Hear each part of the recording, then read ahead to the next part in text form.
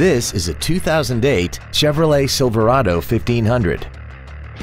This truck has a four-speed automatic transmission, a 4.8-liter V8, and the added safety and control of four-wheel drive.